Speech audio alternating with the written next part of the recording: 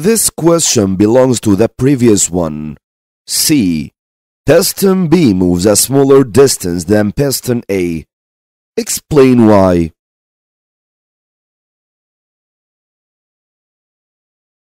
Let's imagine this again. This is our hydraulic braking system.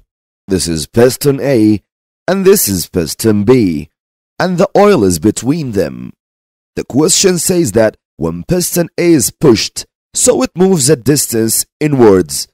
So piston B is consequently pushed outwards, but the distance moved by piston A inwards is greater than the distance moved by piston B outwards.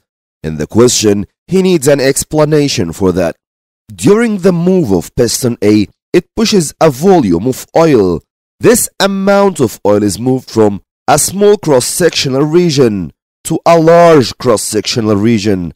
Since the volume of transferred oil is the same, this will cause piston B, which has larger surface area, to move a smaller distance. So the answer will be the same volume of oil is transferred from A to B. Area of A times distance moved by A equals area of B times distance moved by B.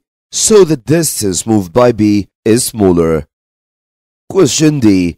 Suggest why the braking system does not work properly if the oil contains bubbles of air.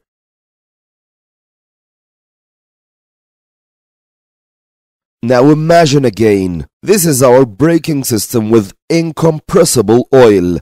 But what if there is an air bubble inside the oil? The air bubble is gas. Gases are compressible, unlike liquids. That's why, if piston A is pushed inwards, the bubble will be compressed and decrease in size.